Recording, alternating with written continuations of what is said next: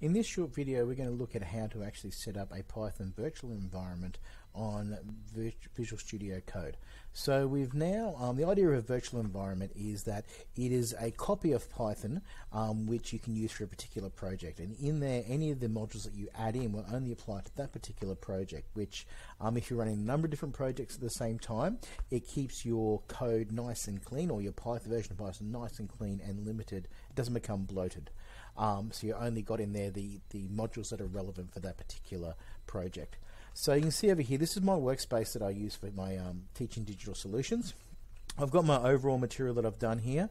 Um, this is my, my, these are three different repositories I've got in here. The first one is, is all my work that I've got. Um, and these are the exa these are the examples for the two different grades. So this is the grade 12s that can graduate in 2021, and the grade um, 11s when they'll graduate in 2022. So I've created virtual environments in these two, but I'm now going to come into this particular module and create a virtual environment in here. So to do that, I'm going to need to open the terminal up. So I'm just going to right mouse click and say Open Integrated Terminal.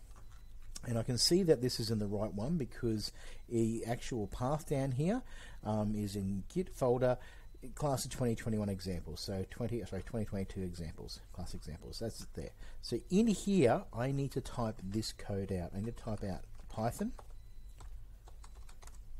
uh, negative m, and then venv, which is the actual um, the command to actually create a virtual environment, and I need to give it a name, and I'm going to give it 2022 um, because it's the, this is the virtual environment for my 2022 um, examples. So I'm going to press enter and that will be created and you can see over here there's a folder which has got 2022 within my 2022 examples and that's where my environment lives so it's got the libraries and the scripts and all the stuff that Python will actually be in there so that is how I have set up my virtual environment for um, Python operating here